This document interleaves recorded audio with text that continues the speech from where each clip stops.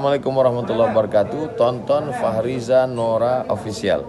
Subscribe, like, share, and comment. Assalamualaikum warahmatullahi wabarakatuh. Assalamualaikum warahmatullahi wabarakatuh.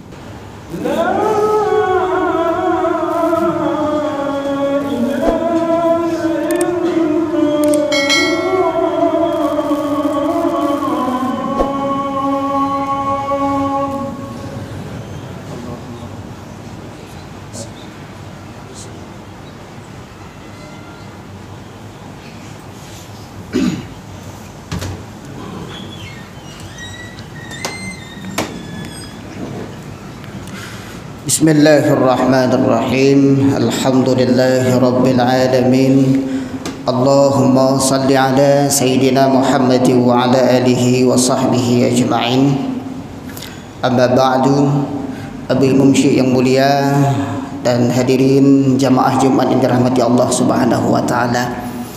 Sembari kita niat iktikaf dalam masjid yang tercinta ini, mari sejenak dalam waktu 20 menit kita merenungkan satu ayat Al-Quran.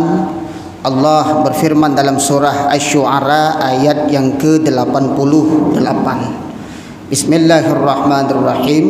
Yawma la yanfa'u malun wala banun illa man atallaha biqalbin salim.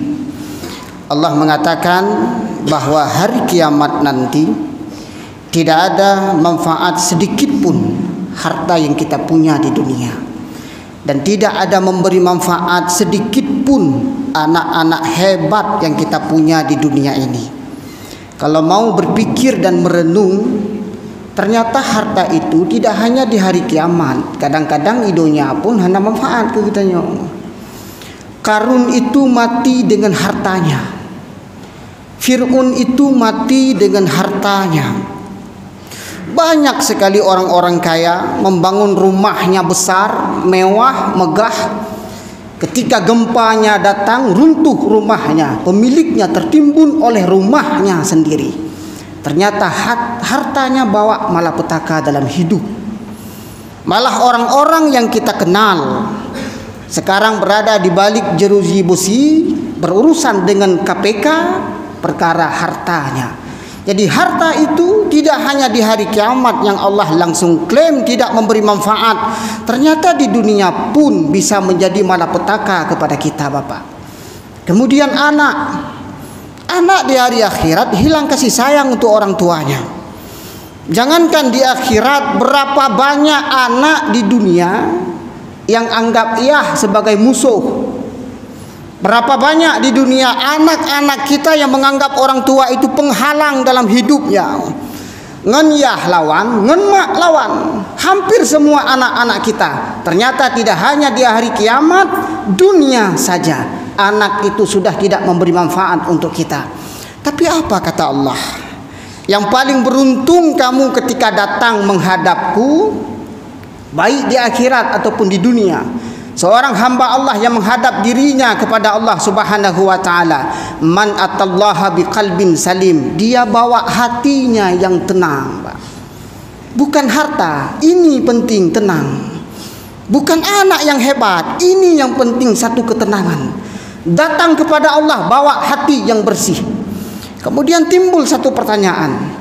Kenapa Allah tidak sebutkan illa man atallaha bisalah?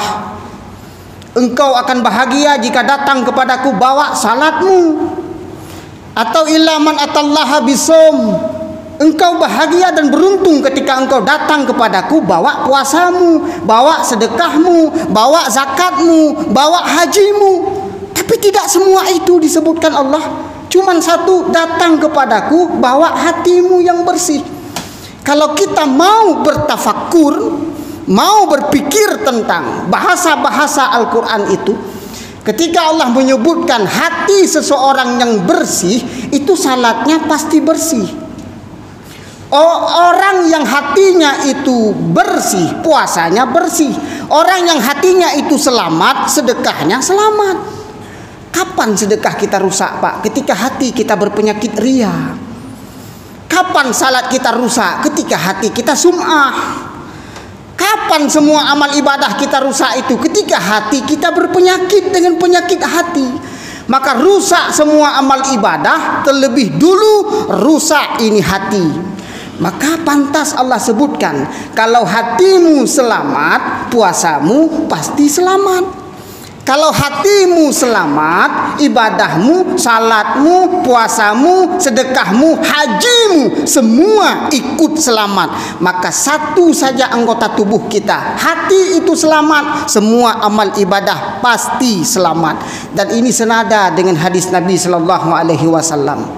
Rasulullah mengatakan dalam hadisnya ala inna fil jasadil insan mudghah dalam tubuh kita ini dalam tubuh manusia ada segumpal daging. Idza saluhat saluhati kullu kalau daging itu bagus maka bagus semua anggota badan kita. Wa idza fasadat fasadati kullu kalau daging itu rusak maka semua anggota badan kita ikut rusak. Ala wahiyya qalbu.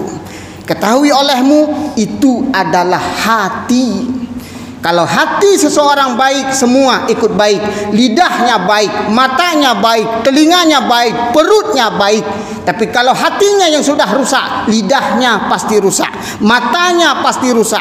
Semua perut, semua anggota badan akan ikut rusak karena duluan rusak hati. Berdasarkan kalau kita berpijak kepada hadis Nabi ini, cukup banyak persepsi kita selama ini yang keliru, Pak. Dia tak egop bro abah. Teh pegah abah tetap mencungkir ate egop. Asai ke pegah abah kan kasakit ate egop. Itu bisu batanya. Igaknya nabah ke sagai menan. Ate gehana. Itu keliru dan itu salah besar. Karena yang memerintahkan lidahnya untuk buruk saat itu hati. Yang memerintahkan tangannya untuk buruk saat itu hati. Jadi ki pancara dan pegah abah kata kamu nan ate hana. Abah tu kamu nan gara-gara ate yang ka Barogat katengku kebetulan baro hatinya baik. Sebab hati kita itu berubah-ubah pak.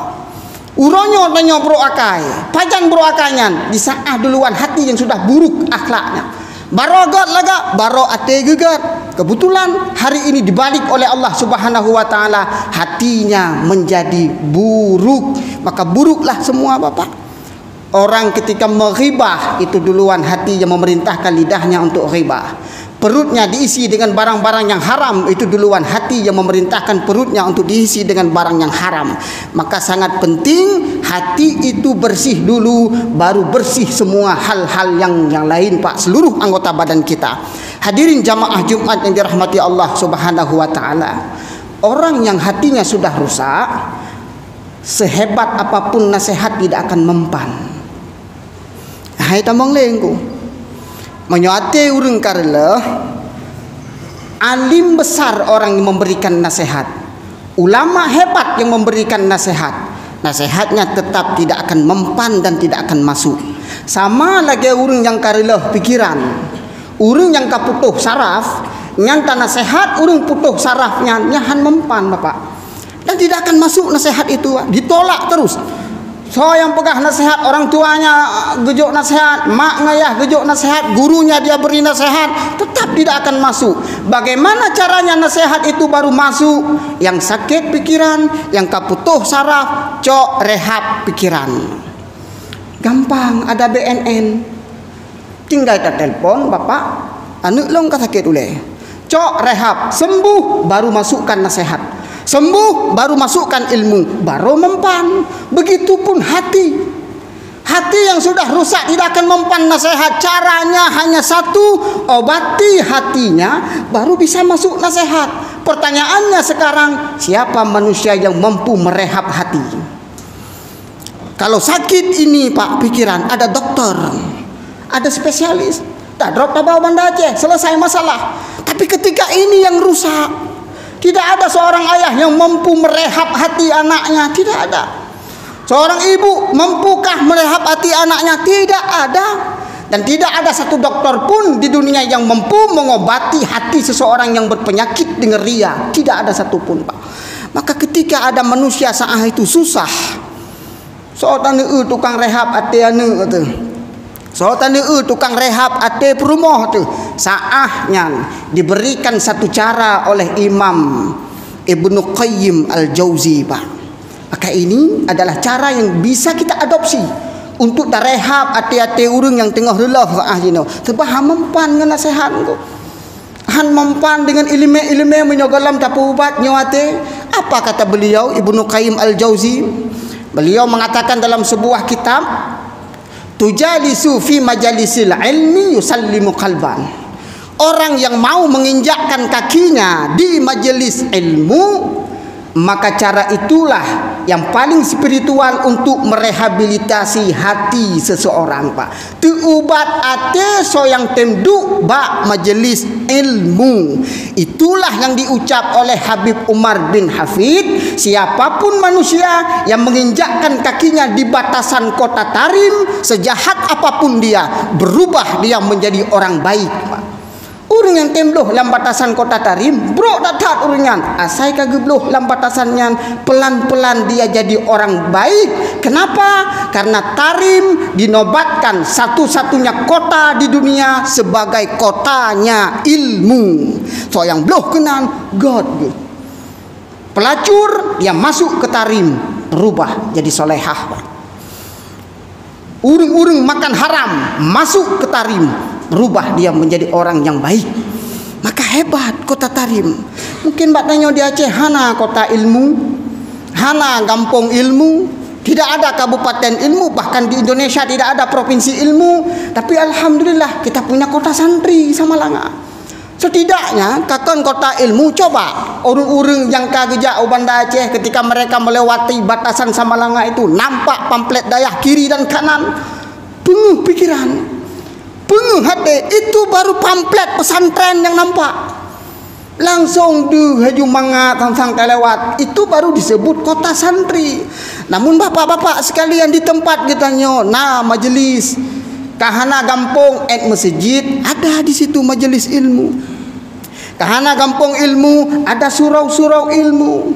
Kahana kota ilmu ada balai-balai but di situ ada majelis ilmu. Maka kalau ingin merehab hati kita untuk menjadi baik, duduk di majelis ilmu itu. La tamasuk kalman, enggak perlu pegang pulpen. Walam taktub harfan, tidak perlu tulis satu huruf pun.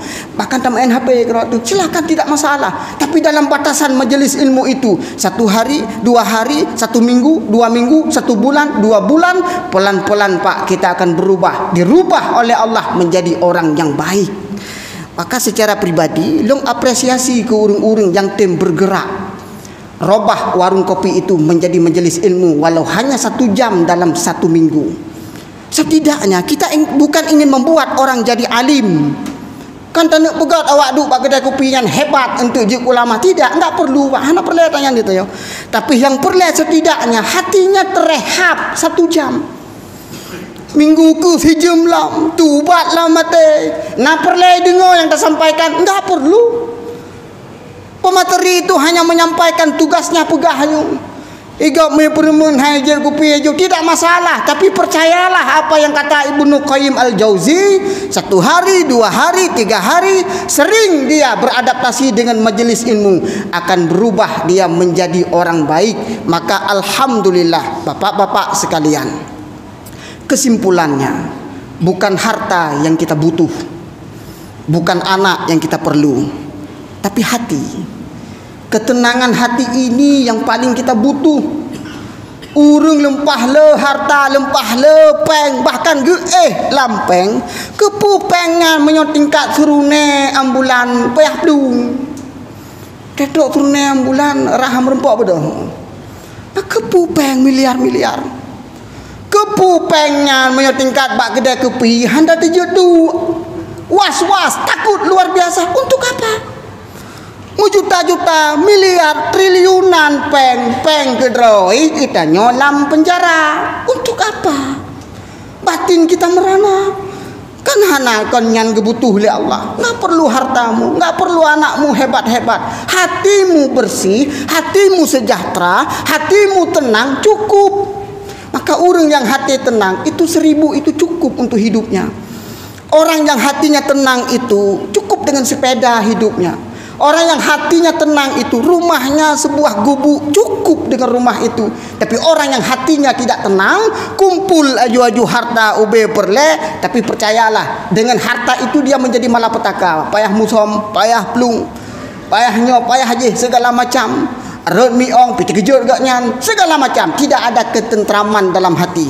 Maka hadirin sekalian, terakhir pesan saya pada hari ini, siapa pun kita, pengedar sabu satu jam duduk di majelis ilmu. Percayalah terehab hati itu. Pelacur satu jam duduk di majelis ilmu. Percayalah terehab hati itu. Orang makan harta riba makan harta haram satu jam tinggalkan semuanya duduk saja di majelis ilmu. Kepudak duduk yang kepegahan ketepu enggak perlu kita jadi orang hebat enggak perlu kita jadi orang pintar. Tapi duduk saja di majelis ilmu. Siapa pun kita hamba Allah. Semaksud apa pun kita hamba Allah. Direhab hati kita oleh Allah Subhanahu wa taala. Amin. Ya rabbal alamin. Mudah-mudahan nasihat singkat pada hari yang berbahagia ini menjadi bahan renungan bahan tafakkur bahan tadabbur kita yang hadir pada Jumat hari yang berbahagia ini. Lentuan tamang dalam rukun-rukun al-khutbah. Tunggu simak, tunggu tugur punya silap lentuan baca. الحمد لله رب العالمين. اللهم صل على سيدنا محمد وعلى آله وصحبه أجمعين. أيها الناس اتقوا الله حق تقاته ولا تموتن إلا وأنتم مسلمون. أعوذ بالله من من الشيطان الرجيم. بسم الله الرحمن الرحيم. قل هو الله أحد الله الصمد.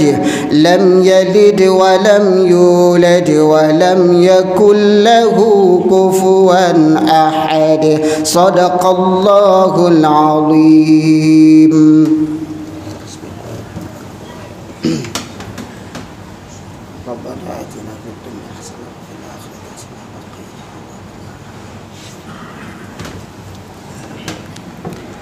الحمد لله رب العالمين. اللهم صل على سيدنا محمد وعلى آله وصحبه أجمعين. أيها الناس ويا أيها الحاضرون أطيعوا الله وأطيعوا الرسول. بسم الله الرحمن الرحيم. الرحيم قل هو الله أحد الله الصمد لم يلد ولم يولد ولم يكن له كفوا أحد. اللهم اغفر للمسلمين والمسلمات والمؤمنين والمؤمنات برحمتك يا أرحم الراحمين. اللهم أعز الإسلام والمسلمين المسلمين وانصر المؤمنين والمؤمنات على القوم الكافرين. ولا ذكر الله أكبر والله يعلم ما تصنعون. قيم الصلاة.